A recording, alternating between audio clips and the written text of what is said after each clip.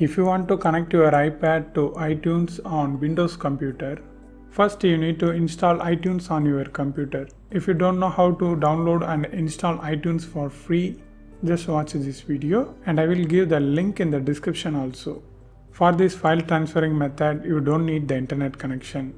Then you need the charging cables. If your iPad charging port was lightning, you need this USB to lightning charging cable. If your iPad charging port was Type-C, you need this USB to Type-C charging cable. But on the box you will get this Type-C to Type-C cable only. So you need to buy this Type-C to USB charging cable. You can also use Samsung or any other brands too. Just you need a good quality cable. For me it's iPad 10th generation so it comes with Type-C charging port. That's why I'm going to use this USB to Type-C charging cable. Now connect this USB end to your computer USB socket. Just like that. Now unlock your iPad and connect the small end to your iPad charging port. You just need to connect like this. If it doesn't connect to your computer, you need to flip the cable. It works on both Type-C and lightning cable as well.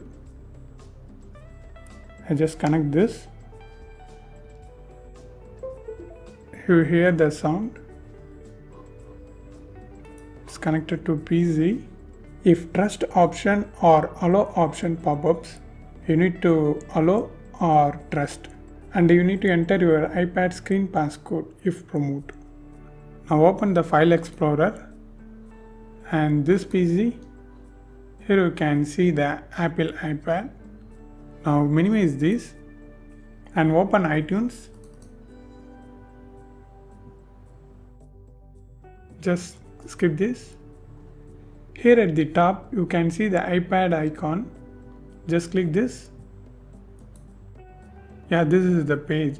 Here you can see your iPad capacity, serial number, iPad OS version.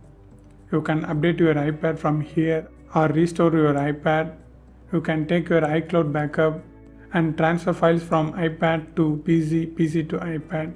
Everything you can do here. If you want to know how to transfer files from iPad to computer, computer to iPad means watch these videos.